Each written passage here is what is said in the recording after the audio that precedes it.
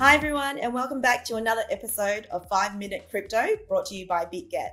Here, you'll hear from the founders, the builders, investors, traders as we discuss all things crypto in five minutes. In today's episode of the podcast, we are talking about redefining the future of finance. And our special guest is Mark Monfort.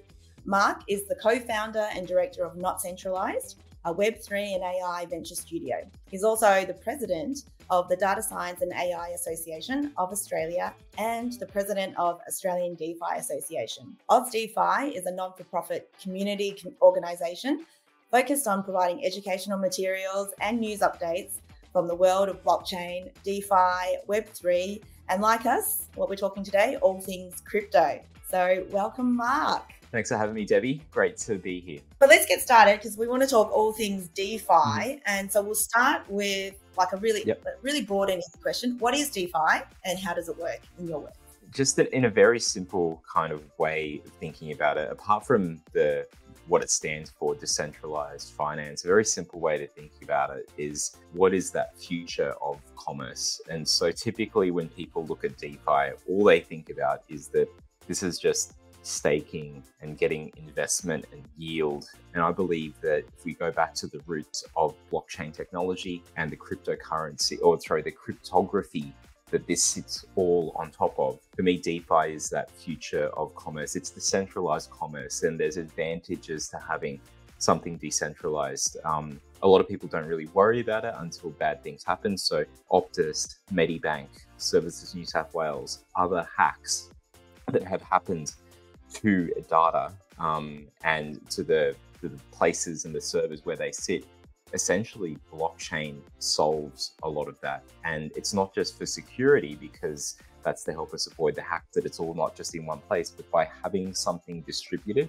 um, DLT is a common term in this space, but distributed ledger technology, whether it's a blockchain, but whatever kind of distributed ledger technology that you're sitting on, there's ways to use it, not just from a security perspective, but because of the very low cost of being able to do things and the open source software that is built on top of these internet machines, as Ethereum is often put.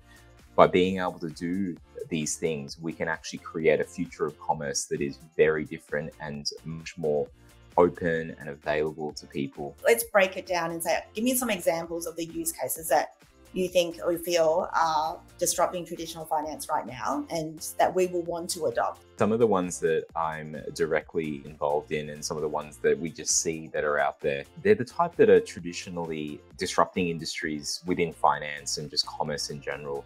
So one of the first things that I'd heard about was uh, insurance and having a decentralized way of providing insurance, or even one of the first projects that we looked at was around um, the trade of uh, foreign exchange and just how typically forex brokers, the way that they work, there's a management kind of structure that takes a lot of the fees and there's not as much distributed to um, the people that are actually using a protocol and even research firms. So, for example, in the world of um, traditional equities and ETFs, there are research investment firms. And one of the things that we had initially seen was that there's possibilities for companies that are they, they don't have to be fully decentralized in the way that they do things. You can create new things within uh, an existing company to not cannibalize on existing revenue. So imagine that a company that is um, doing surveys and they're doing those only once a year because that's the resources they can afford to do. Well,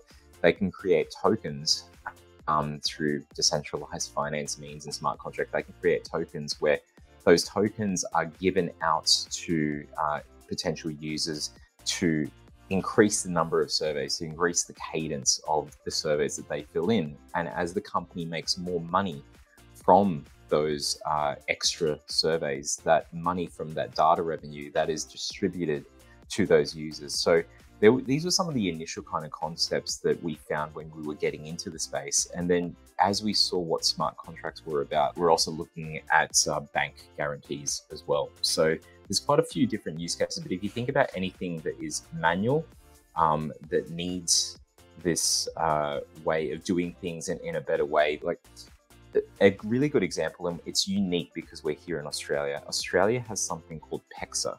PEXA is Property Exchange Australia, and they're not on blockchain.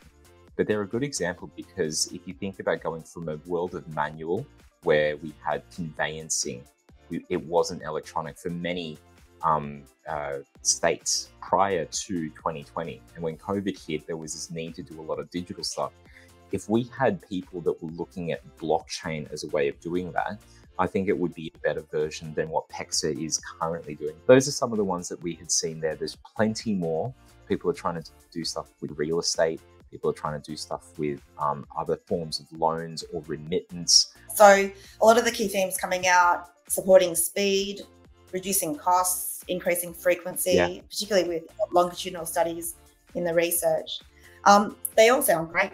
And but I can see that some of these things are going to take a long time to build because mm-hmm. of the traditional businesses that we're working with. So, how will smart contracts mm. help define or redefine the future of money?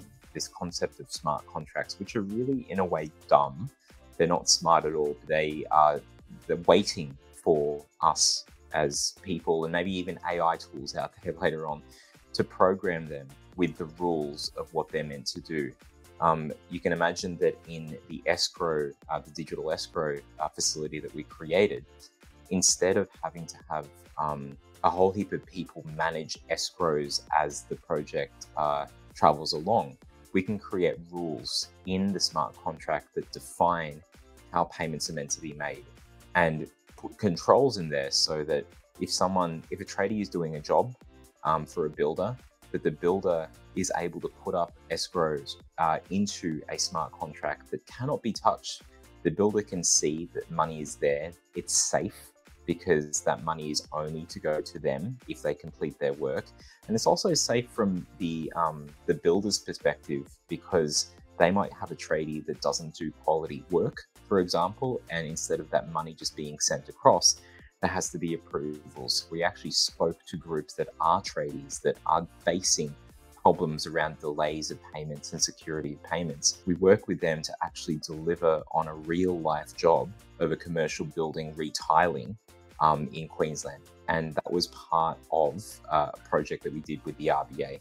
So the RBA had the test of a pilot um, for the electronic Australian dollar and as part of that, um, we had a programmable stablecoin sitting on top of the CBDC. CBDC was used as proof of reserve. Um, and what we saw there was the smart contracts were able to drive all of this. And then finally, as we were doing this work, we saw that there's a need. Like blockchains are great, but unfortunately, they provide um, too much transparency. What I mean by that is that commercial deals, as soon as we have done a transaction between, say, you and I, Debbie, it should not mean that you can see my wallet and all of my history of transactions or my future, you know, um, my future transactions. That's by its very nature just part and parcel of blockchain. But what we were able to do with zero knowledge proofs, we created something that was a ZK proof EVM compatible so that people can use it for whatever Ethereum based kind of protocol or anything written in Solidity. Um, but we put that as part of this. So we had the best of Web3 with programmability, and that provided the escrow and security payments.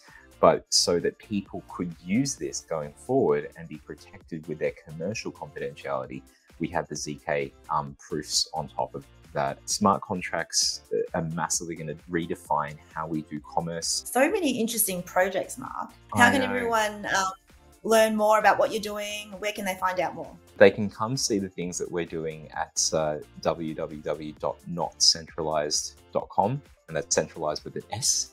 So um, we, you know, named the company that way because we believe in the power of decentralized technologies, or just by coming along to the meetups where all of this kind of stuff is really shared about what people are building at the AusDeFi Association. Great. Thanks so much, Mark. Thanks for joining us on BitGet's Five Minute Crypto.